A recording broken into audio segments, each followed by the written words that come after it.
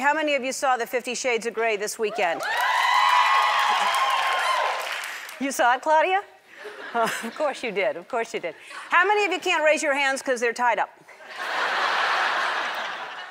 It made like a billion dollars. It made so much, and everyone's talking about it. Last week, I showed a clip from the Today Show where Matt Lauer seemed to be a little too into the movie. Uh, this is what we showed. I mean, that's definitely the idea, yeah. Yeah. Okay. Well, good luck. Oh, thank you very much. Thank you. Thanks, guys. Yeah, cool. I'm glad you saw it.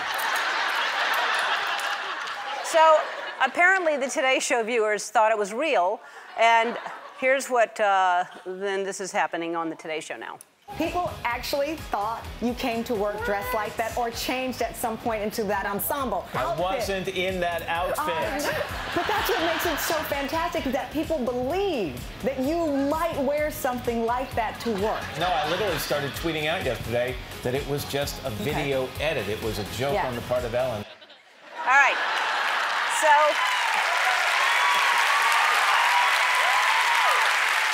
I'm sorry.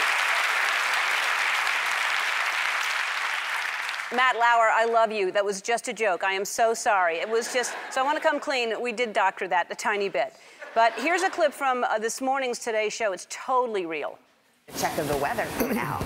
Okay, once we get through this storm uh, over Monday, I, I wish I did not have to talk about this, but here's what we're looking at right now. Monday morning, we've got heavy rain to the south and icy mix as this low comes along the stationary front.